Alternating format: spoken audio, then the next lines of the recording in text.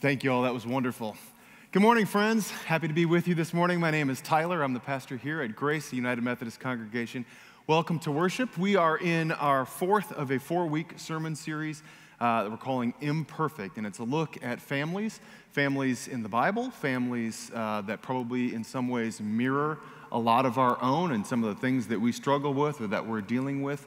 And uh, today, want to change gears a little bit. It's a little bit different kind of sermon than the, the past ones. I want to begin by uh, just asking a quick question. Do we have any uh, basketball fans out there, basketball players? I know we've got a handful, several, maybe some bigger than others. I know we're kind of in a football dominated place.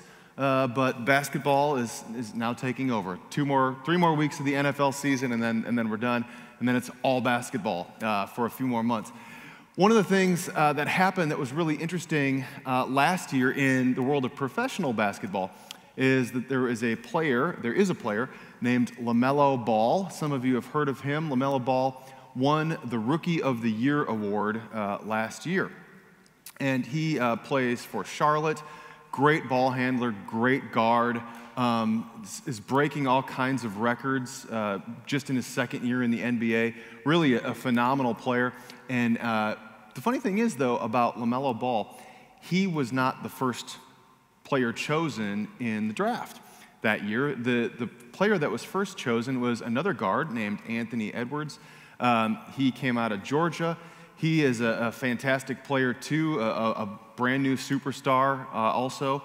But it was interesting because I follow the team, uh, the Timberwolves, that, that drafted first. They had the very first pick in the draft that year, and they picked Anthony Edwards instead of LaMelo Ball. And if you talked to all the people who were trying to, trying to figure out which teams would select which players, they couldn't really decide which team they thought the Timberwolves were going to take because both of these players were guards. It was going to be one or the other, and it was a question of which one do you pick?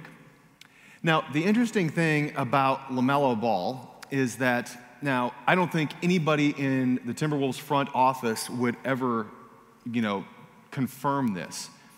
But there was some speculation that they might decide to choose Edwards instead of LaMelo Ball because LaMelo's dad, LaVar, is kind of a thing. Some of you who follow basketball have heard of LaVar Ball. You know the deal with him, and he is a force to be reckoned with. He is a helicopter parent of stratospheric proportions. He has had incredible involvement, dare I say, pain in the neck kind of involvement in his children's lives. And he has just, he has pushed his kids to the, the goal all along for his three sons pro basketball players, superstars, multimillionaires, gazillion dollar endorsement deals. That's the way that they have been programmed from, from the get go. These boys have been. And so he has been interfering in college recruiting, and he has been trying to, to uh, uh, as much as he can, sort of manipulate or influence who, who teams draft. And he wants his kids to play for this college and this particular pro team. And he's, he's really been kind of, in, in the minds of some, kind of difficult person to deal with. And so when it came down to who was going to be the first draft pick, you could have this one player who maybe didn't have that going on, and then this other player who came from maybe a very loving family, but dad's kind of a lot to deal with. And would that influence the decision? And depending on who you talk to, the answer is yes. That may have factored into the deal. LaVar Ball uh, has got his own brand that he has started for he and his family. Um, he has started his own youth basketball league in California, and that's become a big deal. So, anyway, you get the idea. And it, I'm not necessarily picking on him. This is, this is the case, like, for all kinds of things when it comes to parents and some of those parents that are maybe a little bit over involved in their children's extracurricular activities. You see it in ballet. You see it in theater, you see it in athletics, you see it in academics, and as somebody at the 8:30 service reminded me, man alive do we see it in the world of pageants, right? So you, you know like this kind of thing. Like there are these parents that are just kind of overly invested, maybe living a little vicariously, trying to pull some of the strings, and end up being one that when the coaches or the instructors, the teachers, or the other parents see them coming, they kind of look and run the other way. So I tell you all this, and you're probably wondering okay, so what in the world? Let me just say, let's just set the stage for today's gospel reading. From Matthew 20, starting in verse 20. Then the mother of the sons of Zebedee came to him with her sons, and kneeling before Jesus, she asked a favor of him. And he said to her, What do you want? She said to him, Declare that these two sons of mine will sit, one at your right hand and one at your left, in your kingdom. But Jesus answered, You do not know what you are asking. Are you able to drink of the cup that I am about to drink? They said to him, We are able. He said to them, You will indeed drink my cup, but to sit at my right hand and at my left, this is not mine to grant but it is for those for whom it has been prepared by my Father. When the ten heard it, they were angry with the two brothers. Jesus called to them, called to him and said, You know that the rulers of the Gentiles lord it over them, and their great ones are tyrants over them. It will not be so among you, but whoever wishes to be great among you, you must, must, you must be your servant. And whoever wishes to be first among you must also be your slave. Just as the Son of Man came not to be served, but to serve, and to give his life as a ransom for many. The word of God for the people of God. Thanks be to God.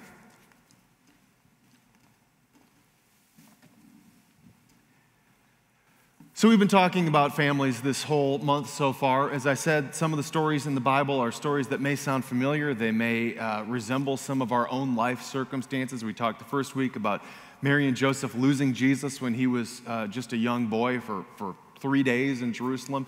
We talked about the next week, John the Baptist, kind of a, a, the black sheep of the family, kind of went off and did his own thing. Uh, very important work, but also something that was a little bit maybe difficult for his parents to wrap their heads around at first. Last week, we talked more about how oftentimes the families that are in the Bible are not the ones who we have an idealized image of what a family should look like. And we recognize that families in the Bible, just like our own families, are complicated, perhaps messy, maybe conflicted at times, but ultimately holy and beautiful, just like our church family. And today I want to shift gears a little bit and look at this story of the mother of James and John. Now, let me be the first to say, I don't fault this woman. I don't fault her at all.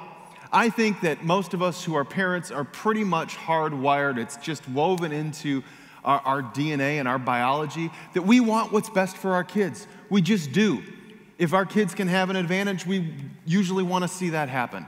If we can make a phone call to make things a little bit better for our kids, maybe we're going to do that. Some parents take the approach where they're going to say, you know, I want my child's, uh, my child's life is going to be complicated enough as it is, so if I can do things while they're younger to help clear obstacles for them, then I'm going to do that. If I can give my kid every advantage and we can send our kids to the best schools and blah, blah, blah, we're going to do that. Other parents take a little bit different approach. Say, my kid's going to have to learn. We're going to let them fall sometimes. We're going to let them fail sometimes. There's going to be some hard knocks, and that's going to prepare them later on in life. Whatever your philosophy, those two or something in the middle. Ultimately, we want the same things. We want our kids to live successful lives, happy. We want them to, to be productive. We want them to choose, uh, make good choices. We want them to end up uh, in relationships that are, that are life giving and good. If we are raising them in a household of faith, as I know you are, we want to have that instilled in our children too, and that they carry that into their adult lives. And so, on the surface, I don't fault the mother of James and John. I imagine her coming up to Jesus and saying, You know, Jesus, I have this favor to ask. And as you heard him say in the story, what is it? My boys are good boys. They really are. I mean, I know you've got 12 disciples and they're all great, but really, James and John are exceptional. And, well, quite honestly, like when you're talking about this vision that you have for the kingdom and going on to glory and, and, and, and you coming into your kingdom, well, can you just save the spot at your right and your left for them? And Jesus is listening, and I'm sure that there's a part of him that's maybe just a tad sympathetic because he understands what's going on here. But then he responds in a typical Jesus way, which is a little bit mysterious and a little bit pointed, but also has a teachable feature to it. And he says, Are you able to drink from the cup that I drink? Maybe they understand what he's hinting at, maybe not. But the two boys come in and they say, Yeah, we can do that. Now, I think that James and John hear that question and they think, Are you able to truly sit at my right or left hand? And they're thinking, Yes, we have been following you, have been apprenticing under you. And we get what this is like, and we're, we feel like we are not going to shrink in the spotlight. So, yes, we could sit at your right hand and we can handle the pressure and, and whatever sort of fame there goes along with this. And we can handle that. We'll be seated at the head of the table with you. We can do that. And Jesus is actually talking about something, of course, very different. But both James and John and their mother think, yeah, we're up for the challenge, whatever that challenge is. The thing about this particular request, though, is really there's two parts to it. The first part is that it is spectacularly poorly timed. This request of the, of the mother of James and John is just unbelievably bad timing. It's like sort of like when one of my kids, you know, um, like we get into a fender bender, and then one of them says, Hey, can we get ice cream now? Like, like that kind of thing, you know, just like, I can't, no, no, bad timing, terrible timing. This is what happens. Jesus is telling this story to his disciples. And he's telling them about this parable, and it's about the laborers who go to work in the field. Remember this story? And they're all like hanging out in the town square, and they get hired sort of two at a time all day long. And then at the end of the day, after their hard day's work, they all get paid the same amount.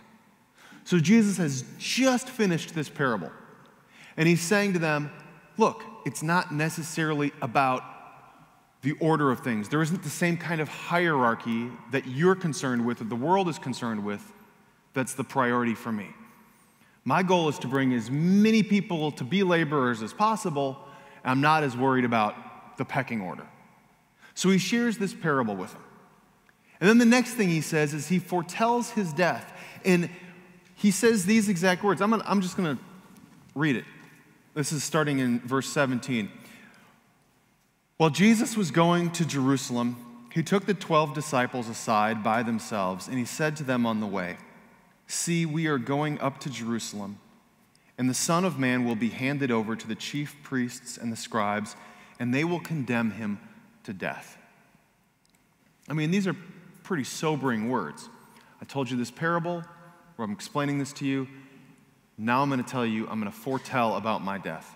So I will be handed over to death and they'll be handed over to the Gentiles. I will be mocked and flogged and crucified.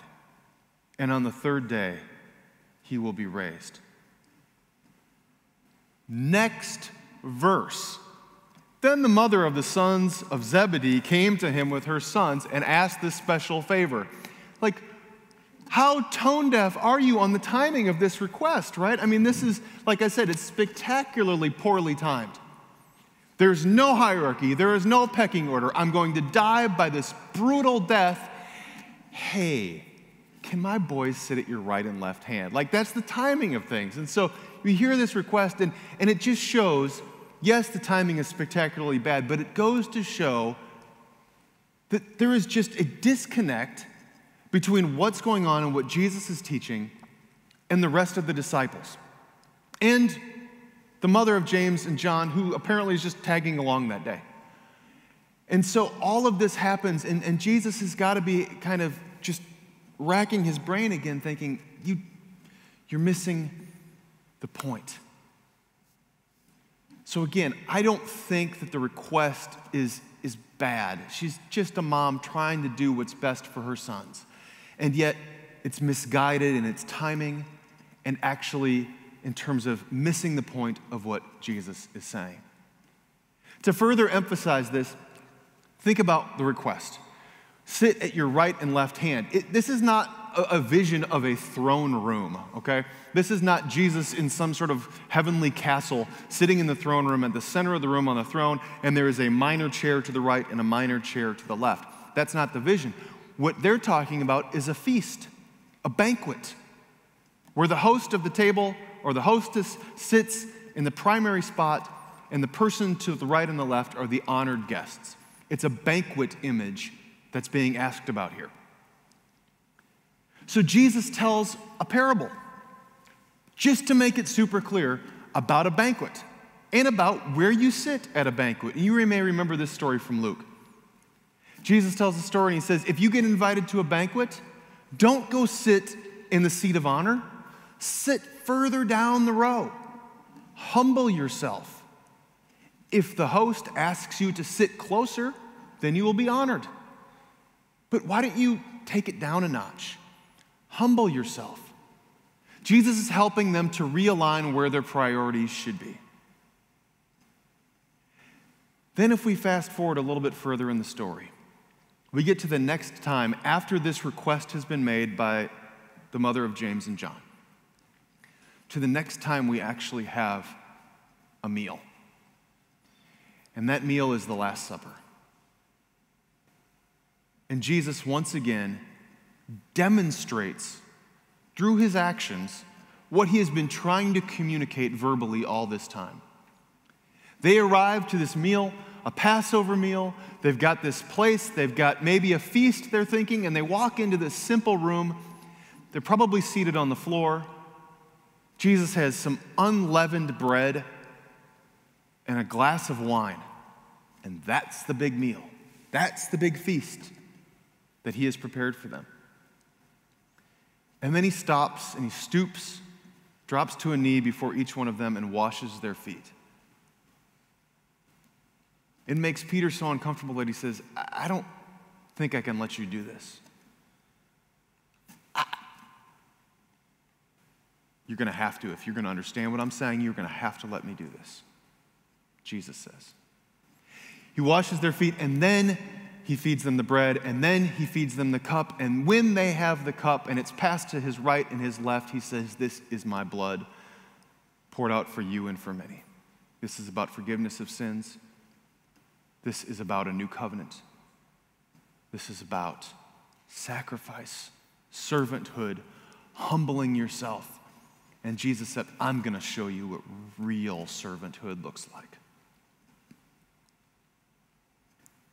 We only hear about the mother of James and John one other time in Matthew's gospel. Interestingly enough, it's at the crucifixion. And they're standing there at the foot of Golgotha. And it's Mary, Jesus' mother, it's Mary Magdalene, and Matthew also says the other woman that's there is the mother of James and John. The last time she saw Jesus, she asked him if her sons could be at Jesus' right and left hand.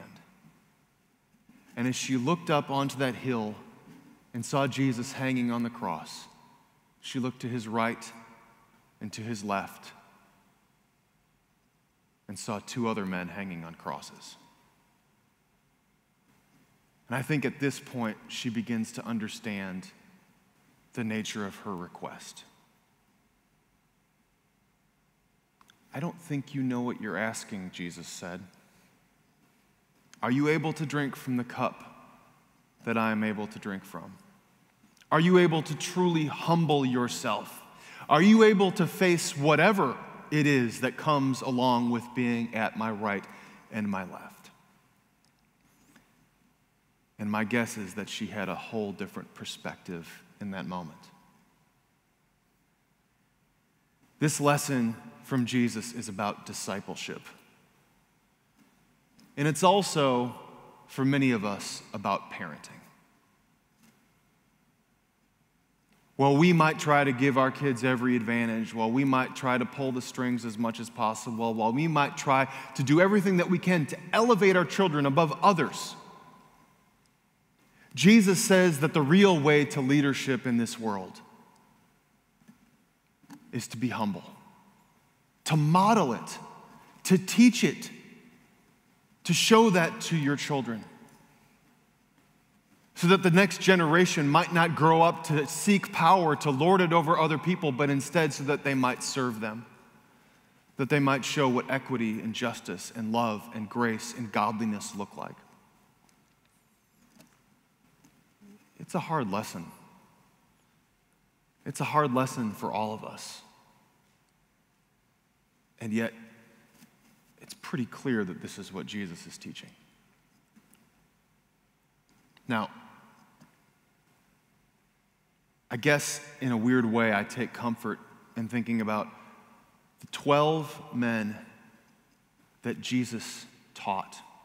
He mentored them, he loved them. They lived life with him. They walked through, they walked in his footsteps. They, they learned from him, they learned from the master. And yet they still didn't get it. They still couldn't quite find the perfection that they were looking for. And it gives me, I guess, a sense of relief to know that we too are a work in progress. So, as I've said all along throughout this sermon series, if we're not the perfect family, if we're not the perfect parents, the perfect spouse, the perfect children, cut yourself a little slack. Jesus didn't really have perfect disciples. But he teaches us to strive for servanthood, to make changes that lead to better lives for us and for our families, to work for a different kind of way of living in the world, a way that looks upside down from the ways that we are often taught or society reinforces for us. And we live into a different kind of identity in Jesus Christ humbleness, sacrifice, servanthood. And while those things maybe sound very difficult and even kind of unpleasant, here's the thing that we know as Christians that there is a peace that we find in ourselves when we begin to adopt these kinds of behaviors. There is a kind of joy that we find in satisfaction and, and, and, holiness and closeness to God that is different than any other feeling that we experience in our lives. And so I invite you today to take a step back from power, to take a step back from prestige, to take a step back from the things that the world says this is what you strive for, and instead take a step in humbleness, take a step in, hum- in, in servanthood and most of all, take a step forward in Christ likeness. I was reading a commentary on this particular passage of Scripture this week. It's by uh, a guy named David Howell. And he ended it by saying, you know, maybe the, there's a prayer that comes to mind that sort of represents all of this idea so well. And it's a prayer that many of you will know. It may sound very familiar because it's been set to music many times. But as I conclude the sermon this morning, I want, instead of just me praying, I'd like us all to share in this prayer together, known as the prayer of St. Francis. So if you would, let's pray together. Lord, make me an instrument of your peace. Where there is hatred, let me sow love. Where there is injury, pardon. Where there is doubt, faith. Where there is despair, hope. Where there is darkness, light. Where there is sadness, joy. O divine Master, grant that I might not so much seek to be consoled as to console, to uh, be understood as to understand, to be loved as to love. For it is in giving that we receive, it is in pardoning that we are pardoned, and it is in dying that we are born to eternal life. Amen. It feels countercultural, but that is good news. It's a joyful thing and when we begin to live this way, we feel a different kind of peace, a different kind of wholeness, a different kind of holiness, and a different kind of satisfaction in our souls.